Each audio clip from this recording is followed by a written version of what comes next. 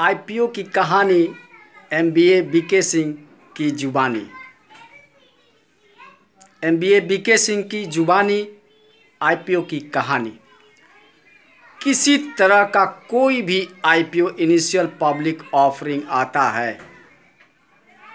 हम पर्सनली इसको कभी भी सीरियस नहीं लेते हैं, क्योंकि और मौजूदा मौजूदा हालत में जो आईपीओ की जो प्राइस होती है, उस पर हम कभी भी राय देते भी नहीं हैं।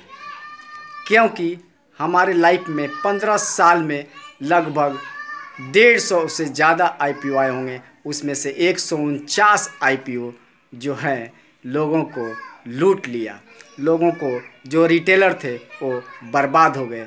आज तक जुए का अड्डा समझने लगे। लेकिन इस जुए के अड्डा को नाम जो है, वो हटाने के लिए इंटरडेटेक Mumbai M B K Singh ने प्रण किया है कि ये जुए का अड्डा नहीं, ये टेक्नोलॉजी है जो लोगों को लूट लिया जाता है टेक्नोलॉजी से। कोई भी आई हो, और लिपस्टिक और और स्नो पाउडर और फेस वाश और ये स्क्रीन लोशन बनाने के लिए हम आईपीओ का कभी भी समर्थन नहीं करते हैं। आईपीओ में जो इंटरेस्टेड है, जो लेना चाहता है, वो जाकर खुद अपने ब्रोकर से बात करे। ये हमारी अपनी राय है।